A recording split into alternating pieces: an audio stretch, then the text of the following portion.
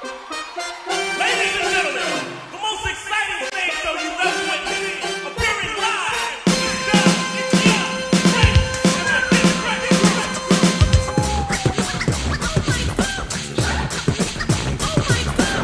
Yo, what's good, y'all? This is Doug E. Fresh. I don't want y'all to know you have no idea how serious it is on what we're about to do for Urban Hangover 4. You gonna get more than you bargained for in Puerto Rico.